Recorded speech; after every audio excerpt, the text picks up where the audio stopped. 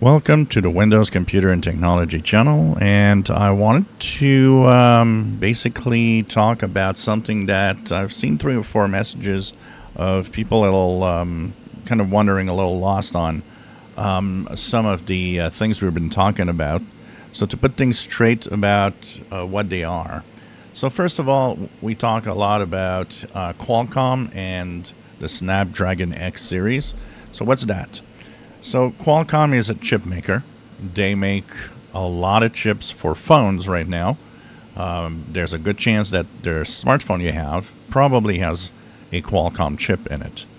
And these are ARM-based processors.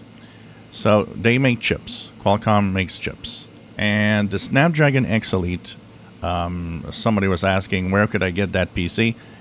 Um, it's not a PC or anything. It's a series of uh, processors. So, for example, uh, Intel had its Pentium chips and Intel Core chips and so on. These are all brand names of different CPUs that they make.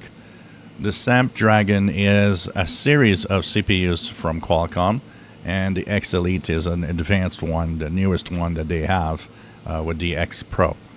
So these are chips and CPUs.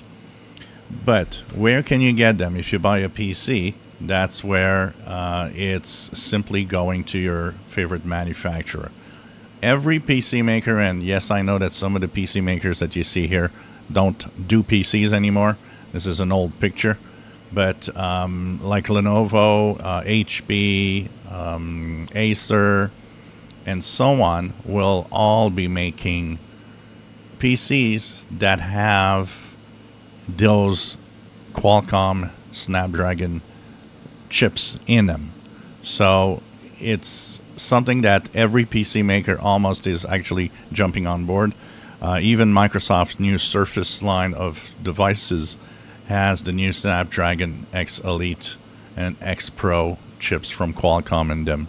So you don't search for a Qualcomm or for a Snapdragon laptop. You're searching for, you go to, to check out your laptops, whatever laptop you're looking at or whatever PC maker.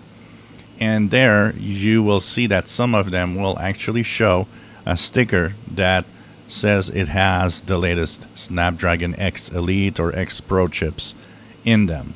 So it's a regular manufacturers that you'll go to, but they'll have those new CPUs which are different from Intel and AMD, uh, but that will actually have you do anything you want like before. Even though it's an ARM architecture, Windows will have emulation to uh, actually have everything x64 work within that PC.